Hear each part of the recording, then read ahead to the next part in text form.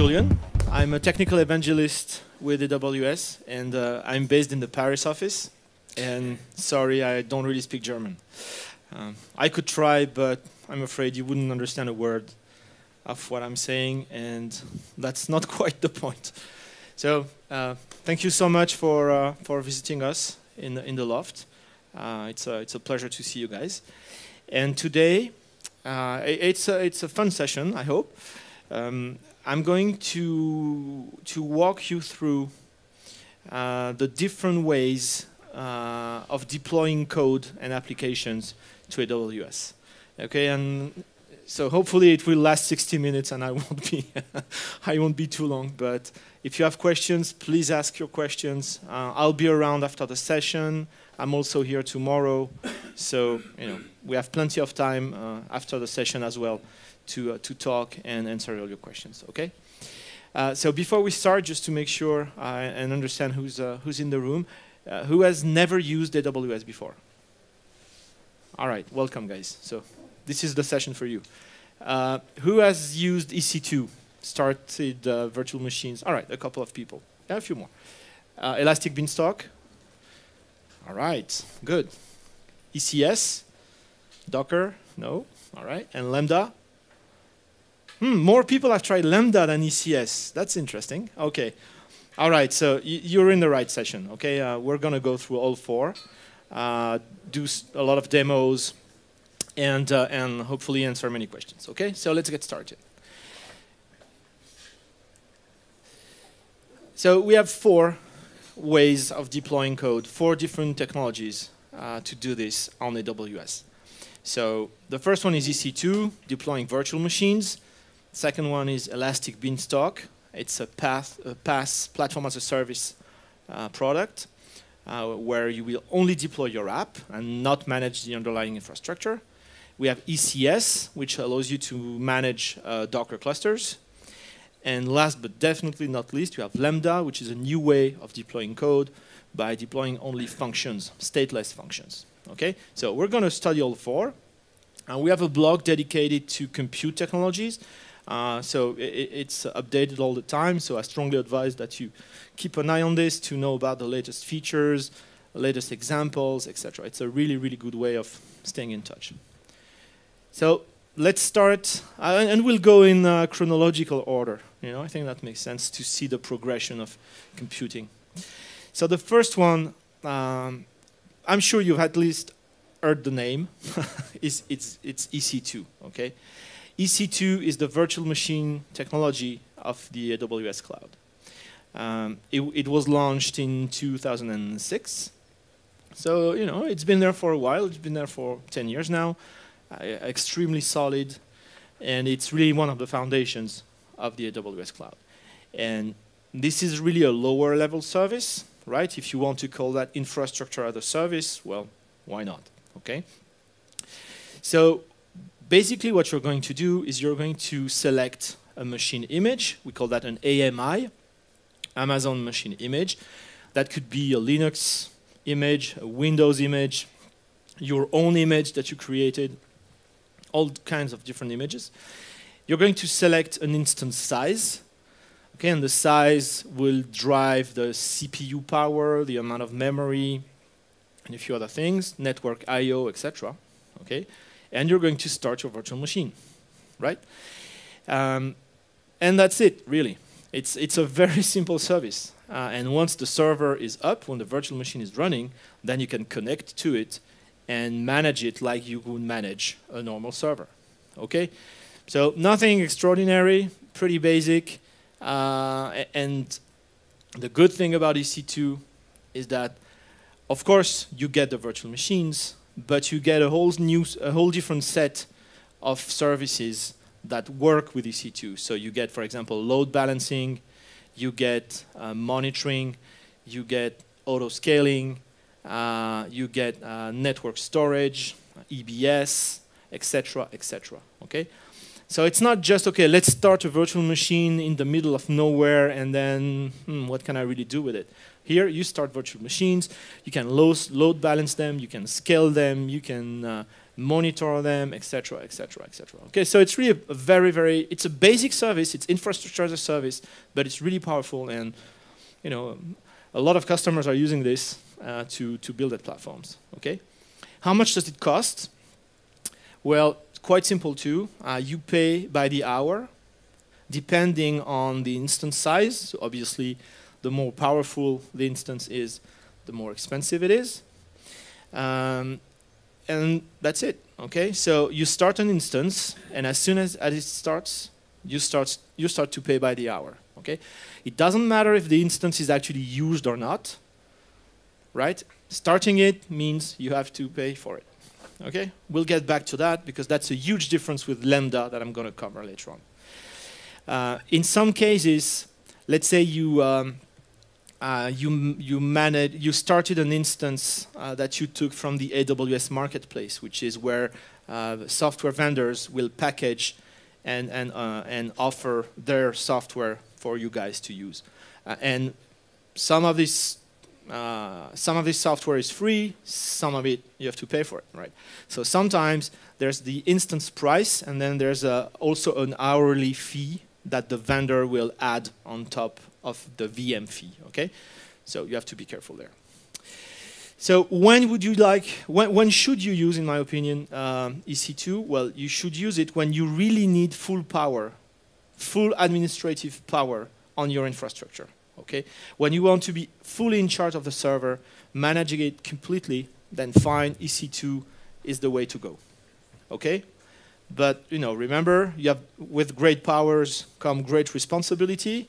So if you decide to do this, you really have to manage your instance. You're in charge of security, you're in charge of patching, you're, you're in charge of backups, etc., etc. Okay? So keep that in mind because again, this will be a big difference with the, the other technologies. Um, there are two other things I want to mention because they, they allow mass massive savings. It's reserved instances and spot instances. Reserved instances is basically a way of saying, well, I've got these 25, 30, 50 instances, and yes, they really run 24/7, right? I'm never stopping them. Um, they really, you know, they're really needed in my infrastructure. Maybe they're database servers, you know, something that you don't want to power off at night then you can contact the AWS team and you can uh, sign this reserved instance deal where by prepaying a certain amount over one year or three years, you get uh, a large discount. Okay, that can go from let's say 20% to probably 60 and 65%. Okay, just by saying, okay, I'm committing to use this for one year, let's say, or two or three years, and I'm prepaying a certain amount. So immediately you save up to 60%. So that's pretty cool if you really need those instances to be up all the time. And spot instances are completely different. Um, there's a, a, marketplace for unused EC2 capacity, right? At any given time, we have unused EC2 capacity. And you can buy this extra capacity that no one uses uh, uh, with a bidding mechanism, right? So it's, it's like bidding. So there's a market price, and you bid for a certain instance size if your price is above the bidding price, then you get your instance. Okay? And you can get the, the instances at up to 90% less, right? So that's divided by 10. Okay? So it's a huge discount. You can get the same instance size 10 times cheaper. So what's the catch? Okay? The catch, right? Because there is one. But I'm telling you, so it's not really a catch. the catch is that um, if the market price exceeds the, pay, the price you're paying for the instance, then you're going to lose the instance in two minutes. You get a notification, and two minutes later, the instance is gone. Okay? So, a couple of consequences. Do not run all your infrastructure with spot instances, right? Do not put anything that, is that should be long lasting in spot instances database servers come to mind. Okay, web servers, fine. Stateless stuff, fine. Database servers going down in two minutes, mm -mm. no. Okay, and the, the the last consequence is, of course, if you bid a fraction of a cent above market price, there's more risk than you're going to lose the instances. that if you bid at, let's say, uh, you know, 15% or 20% above market price. Okay, so you can manage the risk versus the savings. Okay, you can look it up on our website. You know, you have some examples there, but you know, bottom line, EC2 is great. You get a proper server. You can manage it completely, and we're going to start one in five seconds. But you have work to do, you have security to do, you have backups to, to take care of, etc., etc. And you pay by the hour, right? So hourly price times 24 times 365, it always comes up to a significant amount, right? So if you really need instances to be up all the time, try to study reserved instances or try to work with spot instances and you will save a ton of money, right? And we want you to save money, believe it or not. So how would you start an EC2 instance? Well, of course, you could go in the console and click everywhere, okay? Uh, but you know, serious people like you, you know, they want scripts, right? They want to do this automatically. So this is how you would do it with uh, the, the AWS CLI. Okay, so AWS is the actual tool. EC2 is the name of the service. Run instances, you know, to start a new instance. Uh, I'm I'm also mentioning the uh, uh, the image uh, ID, right? The AMI. So in this case, it's uh, our Amazon Linux distribution. The instance type, T2 micro, that's really small, okay? Really inexpensive. Uh, an SSH key because I want to SSH to that server. A security group ID. Security groups are, uh, it's the managed firewall uh, feature of AWS. So this is where you're opening and uh, opening ports and allowing access to an instance. And the region where I want to start it. So EU West, which is the uh, Irish region. Okay, so let's try to do this.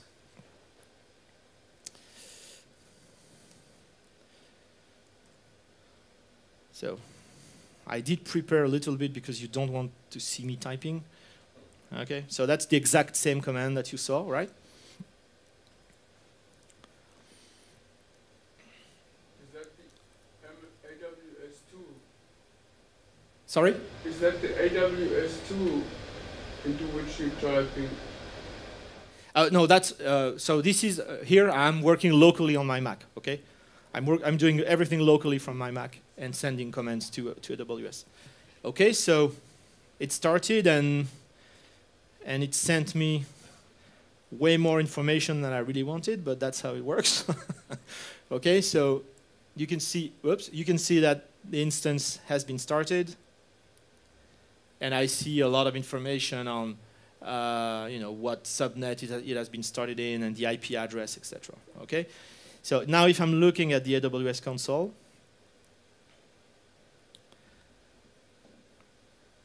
I should see, yeah, it's in there. Okay, it's this one actually. As you can see, it's initializing here. Okay, so that's the console if you've never seen it before. This is where I'm seeing all my EC2 instances, right, for the, uh, for the Irish region.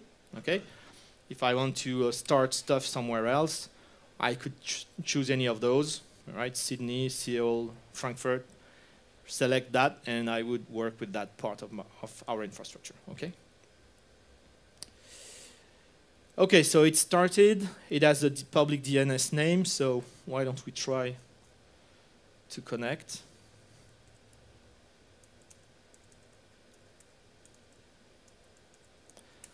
Hopefully it's ready. Yes, all right. Nothing spectacular, SSH. but okay, that's my server, right? Um, and it would be exactly the same way if you started a Windows server. Of course, you would not SSH. You would probably RDP into the instance, but it's a similar thing. Okay. Uh, if you want to build your own AMI with your favorite Debian or whatever distribution, you can do that too. You know, that's how you do it, right? So now, let's say I, now I need a server in Frankfurt, right? Sorry, we don't have Munich yet. Okay, so all, I'm, all I need to do is to change the region. And that doesn't work because my security group does not exist in that region. Okay, so I, I, okay, I don't have the time to do it, but this is what you would do. Okay, uh, you would just start. Uh, sorry, you would just change the region, uh, put the right security group reference uh, for that region, and you would start it. Okay, and from the console, you would just, like I said, uh, let's probably I have some stuff running in the US. Let's take a look.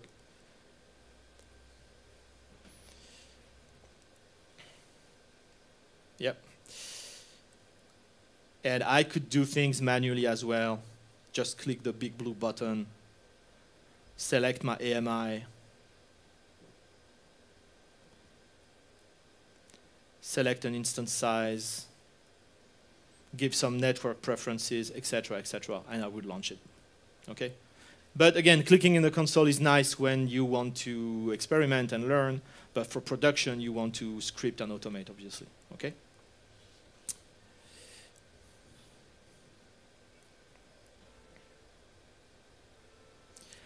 Okay, so this is really the most important command for EC2. That's the one that start, starts instances. Uh, there are quite a few more, actually. Uh, EC2 has 211 APIs, so uh, it's very granular, so don't worry, you don't have to learn the 211. But uh, there's quite a few, right? Starting instances, stopping instances, managing uh, security groups, etc., etc., etc. Okay, so it's it's a pretty rich API here. Okay, so that's that's how you do EC2. Right, fairly simple, full power, full administrative power on the instance, but you have to work with it, right? So now let's look at the second product, which is Elastic Beanstalk. And as you will see, it's quite different. So it, was launched five years ago, and EC2 was infrastructure as a service, right? You started infrastructure and you had to manage it. Elastic Beanstalk is platform as a service because in this case, we will provide uh, a, a, full platform for you to work with. So we support a number of platforms, PHP, Java, .NET, etc. I will show you the full list on the next slide. It's, it's quite long. And this is really a, a, a product for developers, okay? Because typically developers do not want uh, to manage infrastructure, right? You don't want to worry about starting instances and managing subnets and firewall rules and etc. You just want your PHP environment or your Java environment or your Ruby environment where you can drop your code and test it and, and hack it and, and just work, do some useful work instead of managing infrastructure. Okay, so there's a specific command line for Elastic Beanstalk, which I'm going to use, called EB, right? And it's it's really easy. Uh, it doesn't, you know, it doesn't have a lot of commands. It's, as you will see, you create environments and you deploy your code, and it's really, really easy to learn. Um, this is, uh, you have built-in monitoring, built-in networking, etc. Uh, and again, I think this is the simplest way, and this should be the default way of deploying code. Usually people rush to EC2, you know, because they want that server, right? Give me a server, Okay, here it is.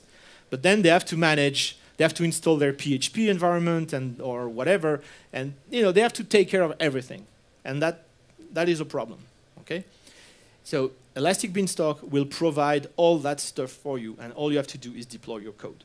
Okay, so let's look at the platforms. So that's the full list. Okay, and it's constantly updated with the latest revisions. So you can deploy uh, Docker containers, you can deploy Java, Tomcat, Golang, Python, Ruby, PHP, Node.js, in all with all different versions, right? And you know, keeps, it, it, keeps getting updated. So when there's a new PHP version, you know, PHP 7 is there, and whenever 7.1, 7.2, 7.3 show up, they will be added, right? So lots of different platforms. So let's dive a little deeper. So when I'm saying it's platform as a service, right? It's because all you have to provide is that green thing, your code. Okay? Everything else will be delivered by Elastic Beanstalk. Okay? So contrast this with using EC2. If you use EC2, you have to select an operating system, right? And you have to patch it and take care of it in the long run. You need to have an application server, so you need to install your Nginx or Tomcat or whatever you need. You need your language environment, so your PHP distribution, your JDK, your Ruby platform, etc., etc. And God knows there's a lot of work involved in maintaining that in the long run, right? Security problems, patches, etc., etc.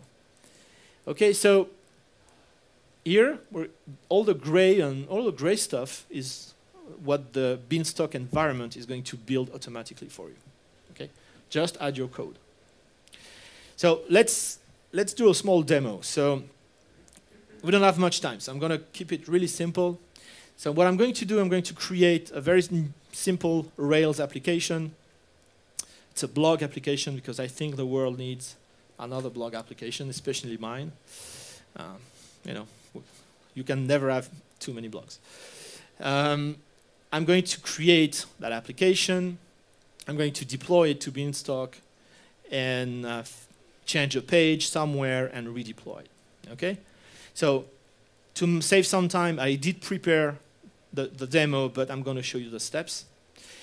Uh, so the first important thing is that you need to use Git because Beanstalk is going to deploy from your, uh, from your committed uh, uh code in Git. Okay, so you can have multiple branches, of course, etc. But Beanstalk is going to deploy from the committed code. Okay, there's an option to, to, to deploy from the staged code, but by default, we deploy from committed code. So I'm creating a new app, a new Rails app, which I'm calling blog, right? I'm adding all the stuff that Rails created to Git, and that's my first version. Okay, so so far, so good. Then it's a blog, right? So a blog needs posts. So I need to add a post or post resource to Rails. Okay, so a post will have a title, which is a string, and uh, a body, which is text. Okay, so I'm asking Rails to generate all the all the all the templates, all the code for this post resource. Then I'm applying this to the DB, adding everything to Git, right? And at this stage, you know, I should be able to start locally my Rails app and open it. So let's try that. Make sure that it actually works. Okay, so that's everything that Rails created with those few commands. Okay? So let's try to start this. Okay. And let's open it locally. Okay, so Rails is running. And yeah, okay. So that's my code, okay, locally. So let's try it.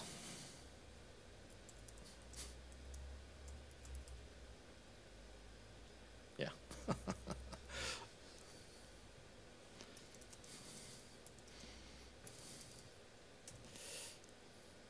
Okay, so this seems to work, right? I'm on my way to becoming a, a billionaire with this application. Um, but this is all local, right?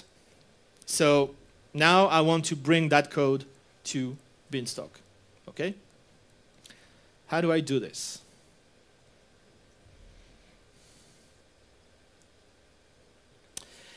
So the first EB command that you need to learn is eb init, where you're going to create a new uh, array, a new Elastic Beanstalk application. Okay, the two parameters that you need to give here are what platform you're going to use and in what region do you want to start this new application. So in my case, I'm going to use Ruby. That's a shortcut for shortcut name pointing to the latest version. But if you needed Ruby 2.0 patch level, whatever, you could also use that, okay? Th that full list that I showed you before, that's where you, you would use those names. And I'm starting uh, that uh, app in EU West 1, okay? Um, and the only thing that it does really is uh, it doesn't deploy any code, it just creates that application in Elastic Beanstalk, okay? Uh, so let's run this command.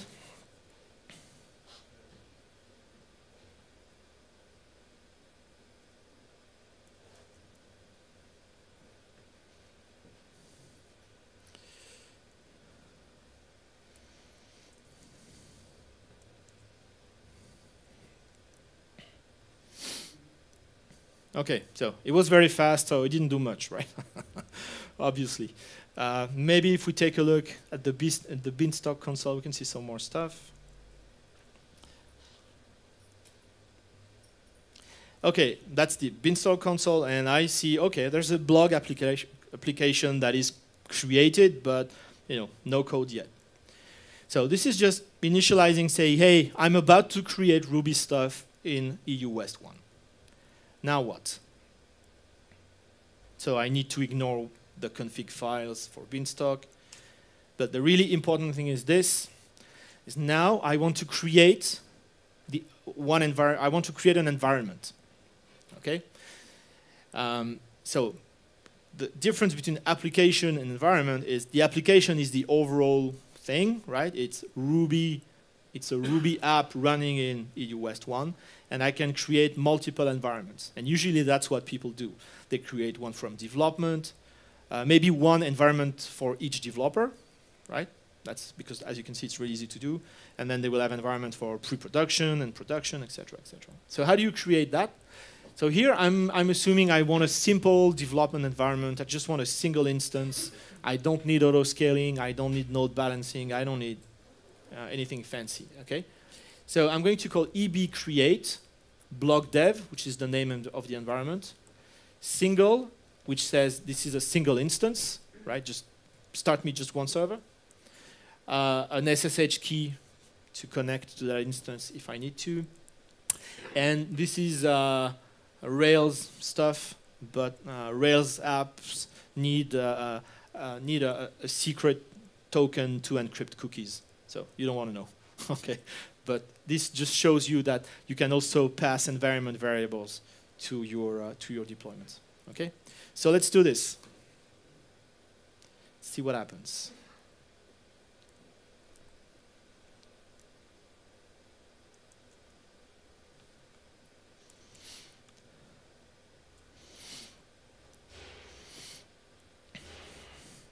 So if you remember that slide I showed you with the green code and everything else, okay, that takes care of the everything else.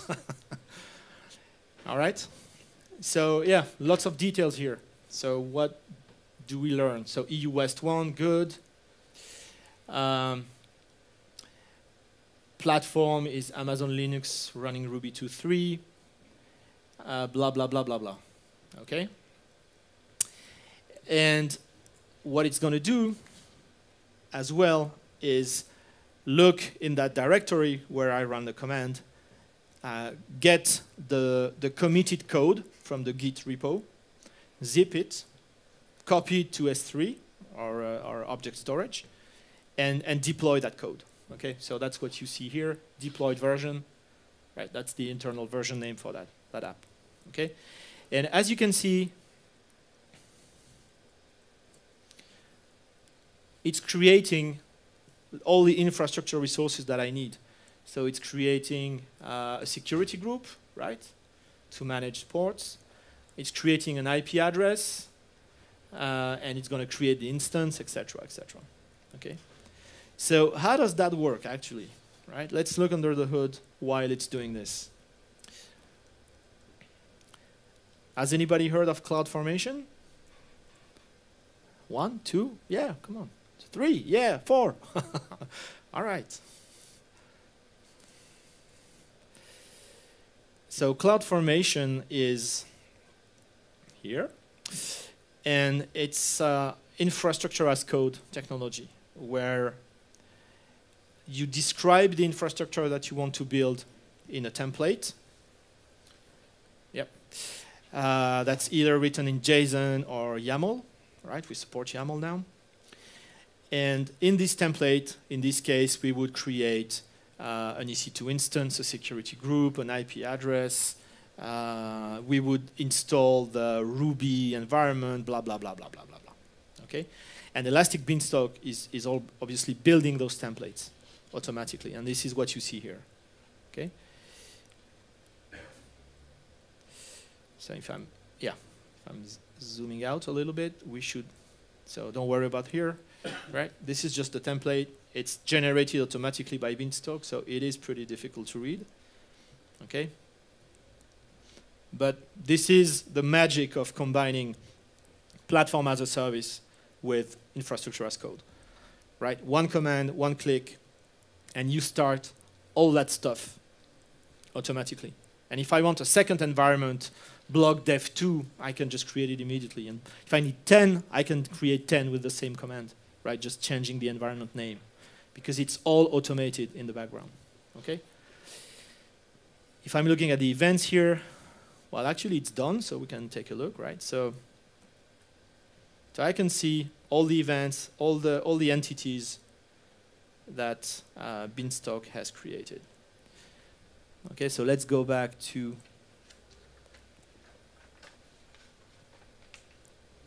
my blog dev here. Okay. Right, so in the Beanstalk console, you can see a summary of those events. Okay, and I see that the, the EC2 instance is starting. So if I'm going back to the EC2 console, I should see something.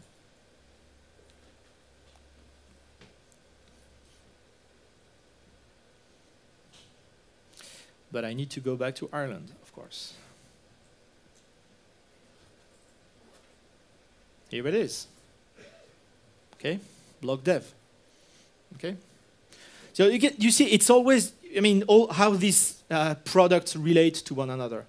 Yes, at the end of the day, you're always creating EC2 instances, but you know, in a much more automated and much easier way, if you ask me. Okay. So, is this ready yet? I want to see that code running. If not, we will just move on and I'll get back to that in a minute. Okay, so let's just wait for the environment to start. You know, it takes five, six minutes. And uh, then we'll, uh, we'll go back to that and I'll show you how to deploy code. Okay.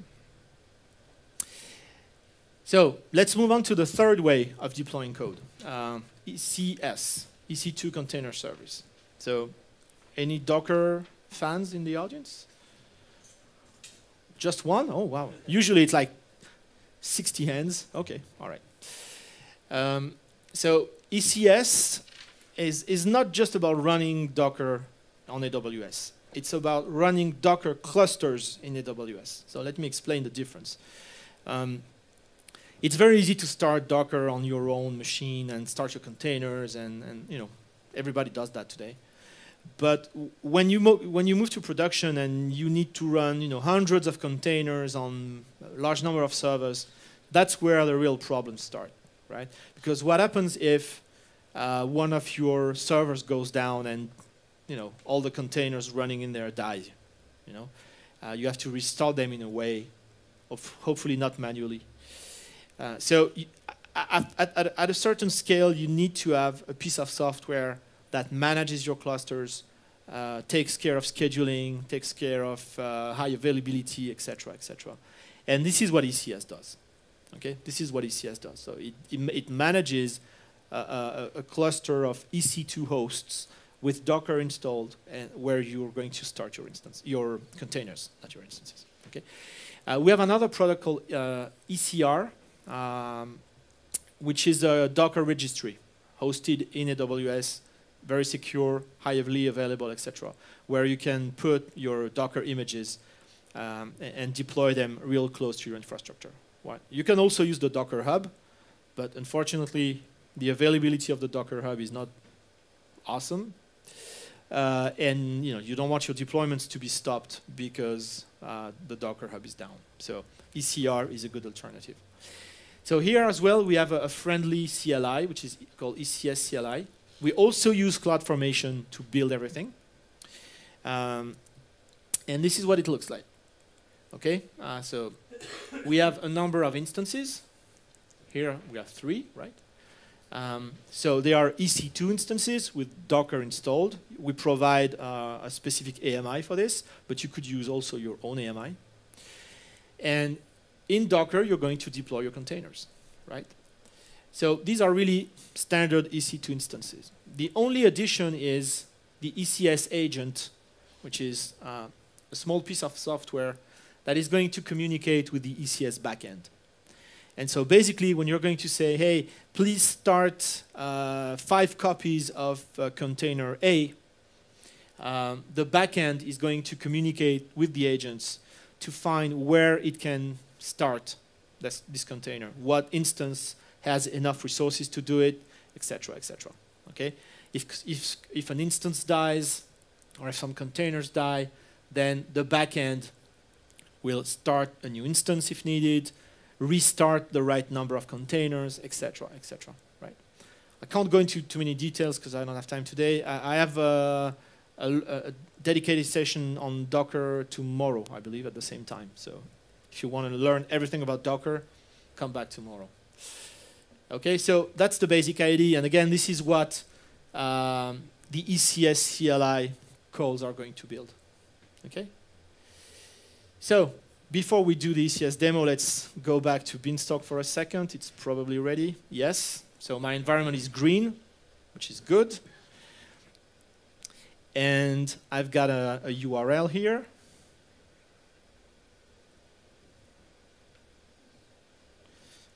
So let's try this. Of course, I need the post resource here. Yep. So looks the same.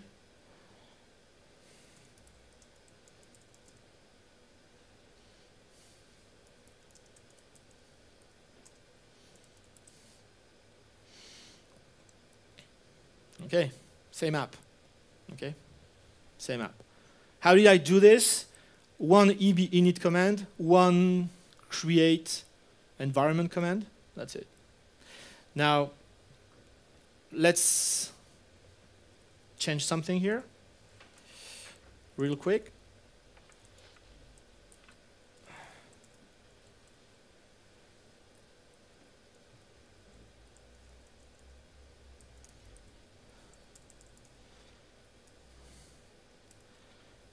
Okay, so if I'm reloading the local version, okay, I see, okay, locally, obviously, I've got the change. Now, I need to commit this change. Um, okay.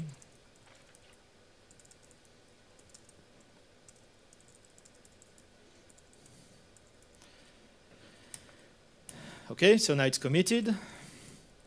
And if I'm calling eb deploy, okay, I'm zipping the committed version, copying to S3, deploying it on my instance. Okay? And if I go back to this, uh, where is it? It's here. Okay, so I'm updating my environment right? Deploying new version to instance. And that should be reasonably fast. So if I'm reloading, yeah, that's the uh, AWS version here, right? You have, uh, you have lost you, you, have lost your first blog endpoint. Yes, because uh, I'm using uh, SQLite as my database, and it's uh, it's redeployed all the time. Okay, so the proper way of doing this is to use a proper database, like Postgres, for example. And uh, Elastic Beanstalk allows you to use R to interface with RDS, uh, the relational database service, which manages uh, uh, which is the managed service for MariaDB, MySQL, Postgres, Oracle, SQL Server, Aurora, which is our uh, in-house MySQL. Okay, I've got a deep dive on RDS sometime two weeks or something. I, have the, I have the reference at the end of my presentation. Okay, so if you use the pr real proper database, of course you would keep all the state. Okay, but it's four services in one hour, and you know it's a short, it's a challenge. Okay, so this is how you would do uh, Elastic Beanstalk, and you could do much more. You can get the logs for your application.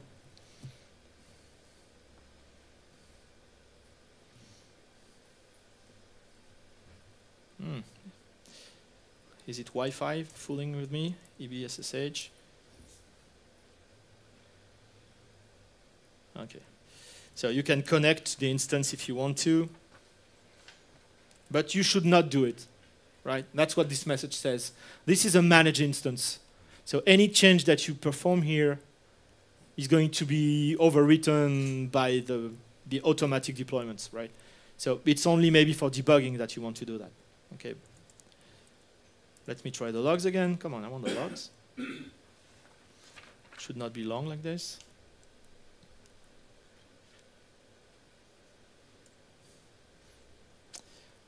All right, they, they will come eventually. So, okay. Oh, yeah, did they show up? No, not yet. All right, okay. Forget it. I think my Wi-Fi is a little slow today. Oh no, here they are. Okay. So I can get all my Ruby logs or my app logs, etc., etc. Okay, and and I can do this without logging to the instance. That's my point. Okay. So all the uh, all the the error logs are available.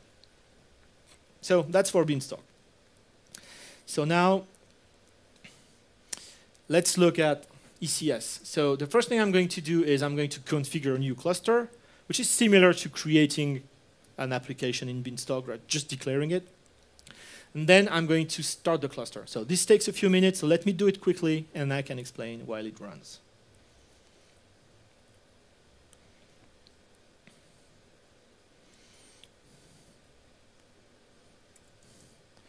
Okay, so configuration here is just, okay, hey, I want an ECS cluster, I want to call it my cluster.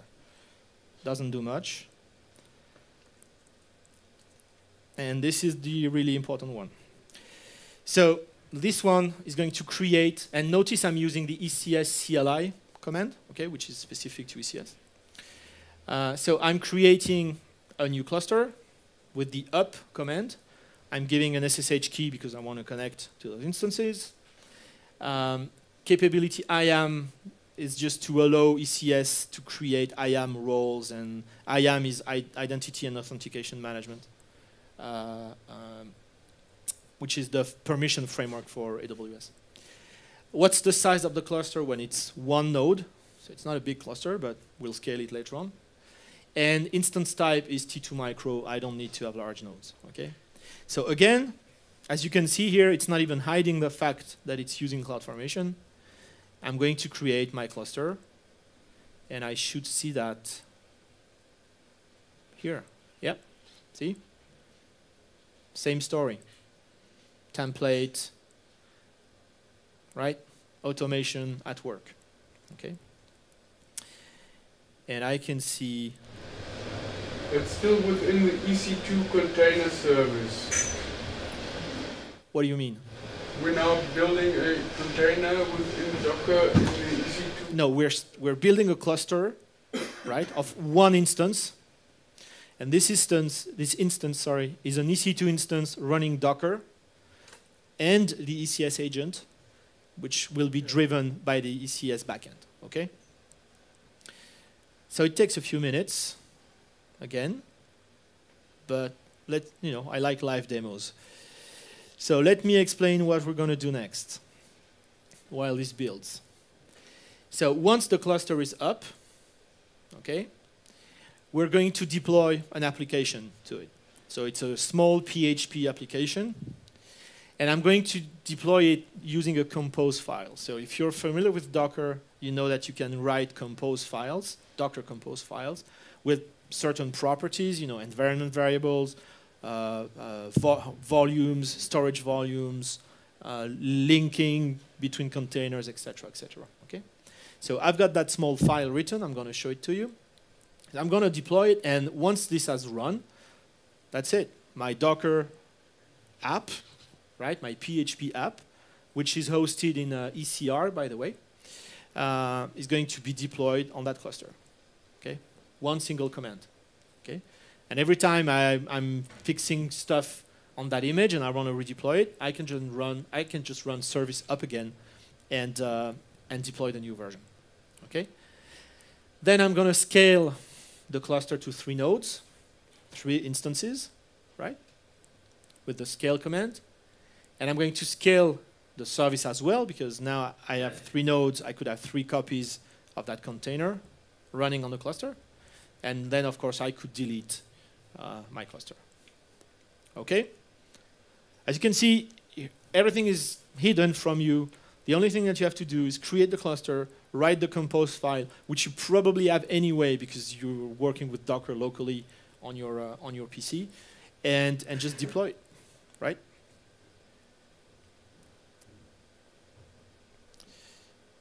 So where do we, uh, where are we? Oh, create complete. Okay, that's good news. So let's go to the ECS console here.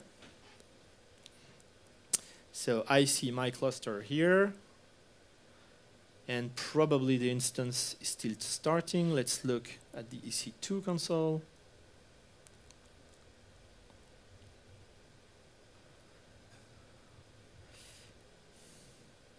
That's the one here, okay? So that's an EC2 instance with the Amazon Linux image and Docker installed and the ECS agent. Okay, so just need to start and it should join very soon. Come on, instance, don't let me down.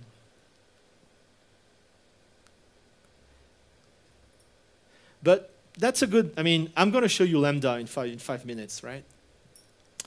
Um, EC2, you see, you know, you see, I, you know, it's not a problem of EC2. It's working with EC2. Nothing takes one second, right? Nothing takes one second. Starting an instance is always one, two minutes, right? And here they need to join the cluster, so you know, it takes a little time. And well, probably that's something we can fix. Okay, here it is. Okay, so I see my instance, my EC2 instance here, right? Ah, it's running a pretty old version of Docker, but okay, I need to change my configuration. But that's okay, that's enough for what we do here. And nothing is running in here, right? So it's a one node cluster. Okay. So, time to deploy stuff. Oh yeah, I, I need to show you the compose file. Okay, so that's the compose file. Okay, so my service is called PHP demo. The image is located in uh, ECR uh, repository in the US. I'm opening port 80 because that's the web app. The entry point for the container is running Apache because that's the web app. And the CPU shares and mem limit, so I will explain that in detail tomorrow if you want to know. But just in five seconds, this is a hint that we're giving to the, to the scheduler, to the ECS scheduler, to say, this is how heavy this, app, this container is regarding CPU usage and memory usage, right? And what these points mean, as maybe you saw that here, okay? For this instance size, I've got 1024 CPU points available. So I don't have 1024 CPUs. That would be awesome, but no. it's just that I can fraction the CPU power of that instance in 1024 points. Okay, so for my PHP app, I say, hey, give it 100 points. Okay, if I wanted my PHP app to run all alone on that instance, I would give it 10, 10, 10 24 points, and the scheduler would find an instance that is fully available for this. Okay, so it's just a way to give some hints to uh, to ECS. So, okay, let's start the service now.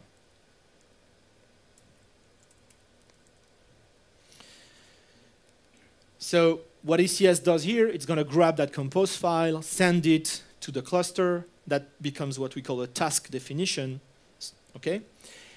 And it's going to start, since I did not give any, any counter, any number of services, by default, it's going to create one container, right? Desired count is one, running count is zero. Okay, so it's going to find an instance where it has sufficient power to, to start the container, and it's going to start it. Okay, so let's take a quick look at the console here. So I see my service has been uh, defined, right? So it's going to download the image from ECR, and it's going to start it somewhere, right? See, it's, it's pending. I've got one task pending, and pretty quickly it should be running. Right, so that's it. My container has been started. Okay? So I want to see that containers running, so that's the IP address of my ECS instance. All right. That one is going to make me a double billionaire, right? I'm sure. Okay, so that's how you deploy containers. Okay, so of course, this is a bit of a silly example because I've got just one node and I've got uh, only one container. So let's scale things. Okay, so let's add two more instances to the cluster. Okay, so I will have three nodes, and let's have three containers running, right? So let's continue while it's doing this, and we'll get back to that. Okay, but what I should see is three ECS instances and one container, one PHP app running on each, right? And you know, all I'm saying is give me three, give me three nodes and give me three containers. Y you figure it out. Okay?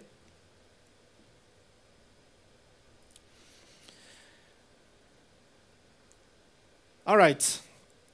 The last one, Lambda. Completely different.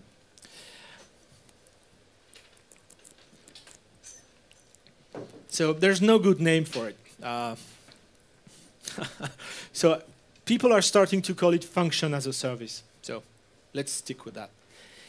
And it's exactly what it means. So we saw EC2 is infrastructure as a service. Um, ECS and Beanstalk are platform as a service, right? All the crazy stuff is created for you automatically. And Lambda, well, you only need to provide your function, not even your application, just your function. And you can do this with Java, Python, and Node.js. So we're going to look at some examples. Um, there are two main use cases for this. The first one is building event-driven applications. Because as you know, within the AWS cloud, you have tons of events happening all the time. Instances starting, uh, files being dropped in S3, uh, items being written to DynamoDB, uh, uh, monitoring notifications happening, blah, blah, blah. Lots of stuff happening. And actually, Lambda is heavily used to uh, act as the glue between all those services. So for automation, it's great. You can build complex applications by simply automating with Lambda, right? Automating stuff that is happening inside your platform. A new file is dropped in S3, okay, run a Lambda function that takes the file, compresses it, uh, loads its content to uh, RDS, blah, blah, blah, blah, blah, right? It's, I call it Lego infrastructure, right? Which is a, a better name that function as a service. the second use case is to build APIs, right? Usually APIs are smaller pieces of code that are independent, right? Self-contained. And that fits the Lambda model pretty well. So we're going to combine uh, Lambda function with the API gateway, which I'm going to show you, to build APIs. And this is really cool for web services, obviously. It's really cool for backends, mobile backends, uh, people who want to build RESTful APIs without messing with any infrastructure, right? Which is the right way to do it. I mentioned that Lambda had a different pricing model. Uh, remember EC2, you pay by the hour, right? Lambda, you only pay when the function is called, right? So it's a combination of number of requests and execution time. By 100 millisecond slots, not by the hour, of course, because Lambda functions are supposed to be very, very short. There's a five minute timeout on Lambda functions. Um, so imagine you have uh, APIs implemented with Lambda and you have no traffic at night, right? No traffic, no API calls, no Lambda calls, no money spent, right? If you used EC2 instances, you would still need to have maybe a couple of web servers to be running at night even if there's no traffic, and you would pay by the hour. So Lambda is super efficient from a, from a spend point of view, right? No traffic, no cost. And this is what we call serverless. I'm sure you've heard that a million times, right? The serverless architecture, that's the combination of Lambda and managed services. So let's do this. So what I'm going to do, I'm going to write a simple function. I'm going to create an API with the API gateway. I'm going to deploy it, and I'm going to invoke it with curl, right? Before we do this, let's conclude our ECS demo. So I should have three instances here. Yes. Okay. as you can see, right? One, two, three. And I have one, okay, uh, yeah, please. Did I say three? Yeah. Okay, so desired count for my PHP app is now three. Running count is one, so it's going to create two more.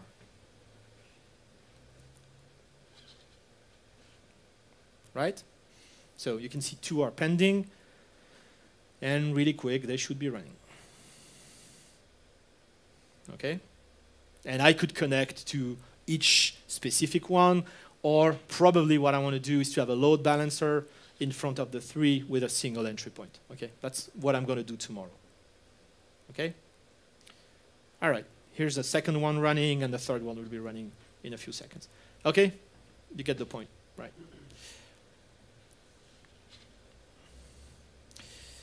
Okay, so uh, that's my lambda function. It's very complicated. It's in Python, okay? Uh, it receives a JSON document with two integers, and the function just sums the two integers and returns the result. Okay? So let's do this. So here's my code, right? So I'm going to go to Lambda console, create a Lambda function. So the functions are given. I'm using them. I'm a consumer of them. Is it Yes. correct? Yep. So I'm going to write, yes, a blank function. I'm going to call it add. It's a Python function. Here it is.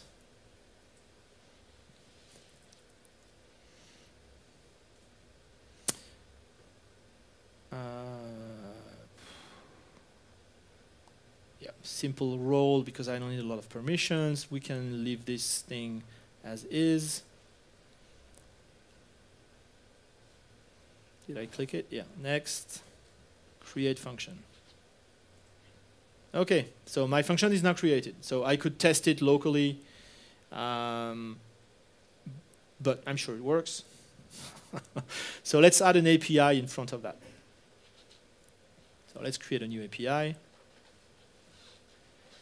Let's call it add.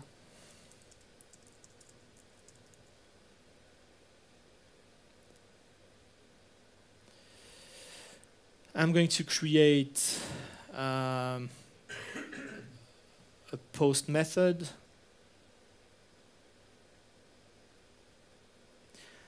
Right, so whenever I post on this API, I'm going to call a lambda function.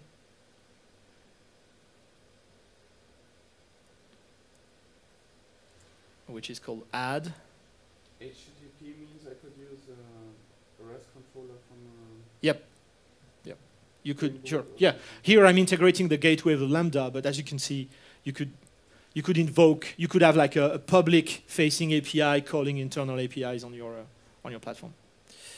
Okay, so as you can see here, whenever I'm posting to that uh, API, I'm calling that Lambda function. I could set up authorizations and tokens, etc., if I wanted to, but I don't need it today. Um, and then all I need to do is deploy it. So I'm going to deploy to production, of course, because because it works, right?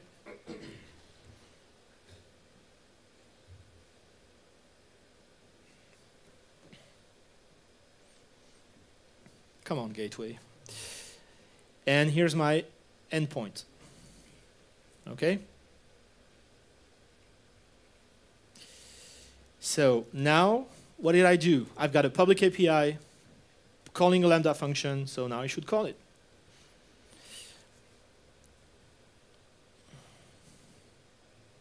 with these API uh, layer, can I also integrate um, services that I'm not running on AWS?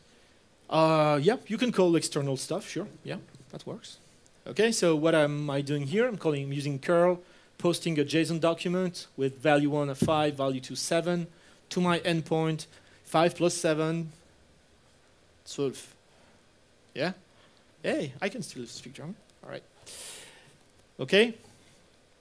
So again, I'm almost out of time, but keep in mind, if you had to do this with an EC2 server, would that be faster?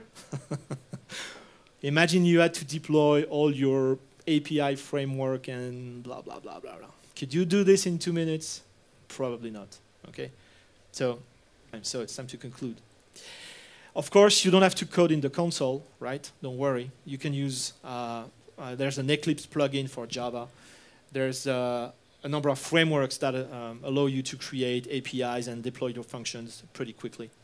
Uh, the most well-known is one called Serverless. It's available on GitHub. And you can automate a lot of things very quickly, very nicely. And you have other frameworks like Chalice, Zappa, Apex. If you want to do Golang, which is not supported by Lambda, uh, you could use Apex. And they manage to run Golang code. Okay? So I'm done, uh, well, 64 minutes. That's not too bad. Uh, and now it's, uh, it's your time, not to explode, right? but to explore. Right? Hopefully you will not explode. Uh, there's much more to read on ECS, which you know I really uh, was just an ECS flyby today. Um, uh, you can look up all those references. You will get the slides, don't worry. Uh, so some articles from the CTO of Amazon, some ECS videos from reInvent. There's, a, again, a whole lot more to learn about Lambda. Lots of videos from reInvent. And if you want to read books, I'm sure you guys like that. Uh, my colleague Danilo is writing a book on Lambda. It's almost done.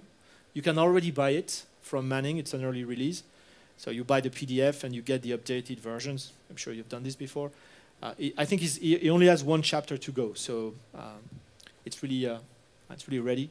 I strongly, strongly, strongly recommend it. Not because he's a, a, nice guy and he's my colleague, because you know it's a great book. It's the only Lambda book that you need to read. Enjoy the rest of your day. Thank you.